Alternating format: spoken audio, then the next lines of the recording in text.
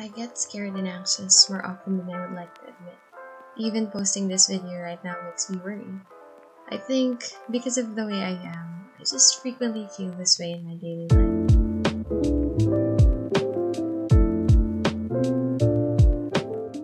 Then again, despite the debilitating effect my anxiety has on me, I still miraculously push forward.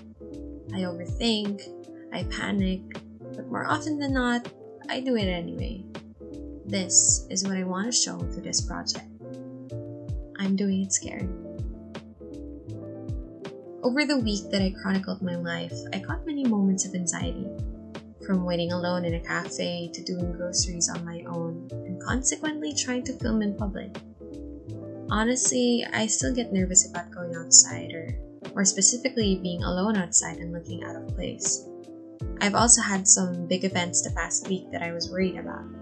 One being a talk that I had to give, and the other, applying for jobs. Recently, I made a bold career move. Being in my 20s, moving out in the middle of a pandemic, it's risky to resign. But I did. And of course, I felt really scared about that. But despite the fear and uncertainty, I chose to move on and that also meant having to make decisions for what came next.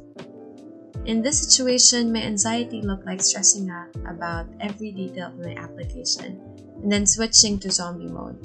It looked like having to lie down a lot because as my brain tried to answer application exams, it was also trying to simulate scenarios about my future. I was in front of my laptop a lot too, and I didn't even realize how time passed me by as I felt the weight of the rest of my 20s burden my shoulders. Almost every day for the past seven days, there was always one reason to be nervous. These nerves sometimes translated to the lack of energy or dissociation.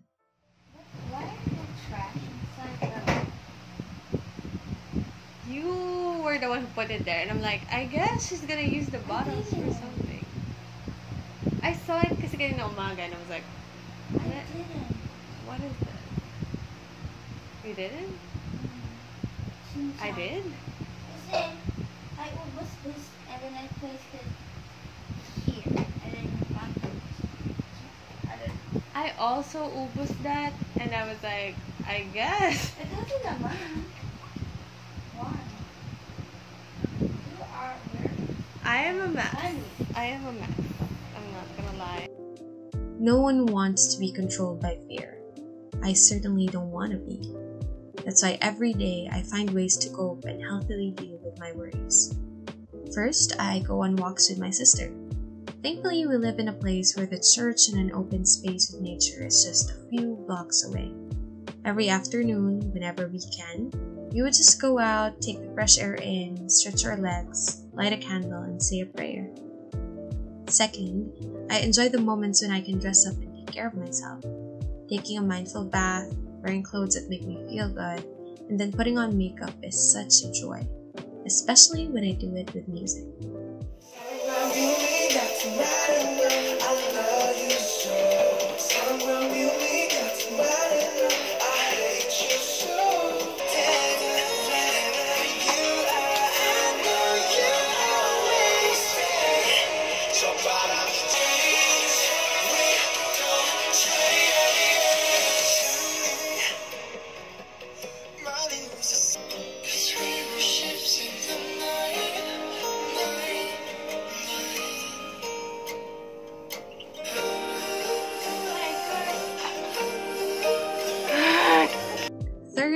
Enjoy the fangirl life.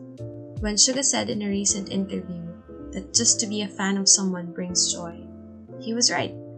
Being ARMY for the past few months has given me simple and plenty of reasons to smile. Watching their videos and collecting their merch makes me feel like a giddy high school girl at times, and it really does a lot to bring my mood up and comfort me.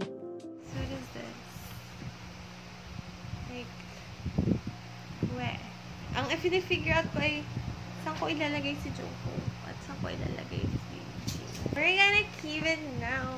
Kamusta Daniel? Nakita mo tong vlog. Most importantly, I've been meeting with friends. Being isolated during the beginning of the pandemic and being an ultimate introvert, I've often been contented with my own company. However, recently, I've tried reaching out to people again and spending time with them. It helps to have a tribe with whom you can be yourself around and share your honest thoughts to. They've made me feel like I'm not alone in my young adult struggle. They've reminded me of how fun it is to be in my own skin, even when I'm with other people. I guess my way of combating my fears is by having fun. When I have things in my life that bring me joy, I don't feel as anxious.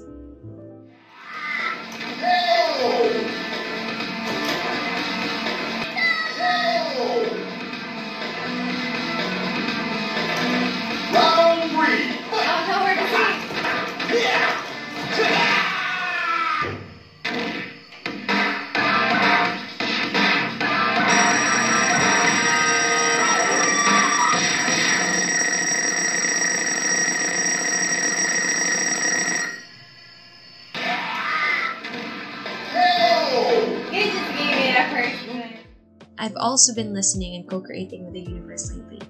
Because of that, my brazen heart believes that better things are coming, and I'm going to be okay too. Sometimes unseen signs and gut feels like that are enough to get me through. I don't think being scared ever goes away, but I also think that being scared comes from wanting to try and participating in life. Even as a writer, creator, I get scared of putting out content like this. I get scared of submitting to anthologies and composing songs. But I try, and it happens, and the world doesn't end. And when it doesn't, little by little, I am encouraged to try again. more than anything, I'm just really a writer who's doing it scared. Um, people have a misconception that when you're already a published writer or you're an expert writer speaking in front of different people, you figured out the formula to writing already.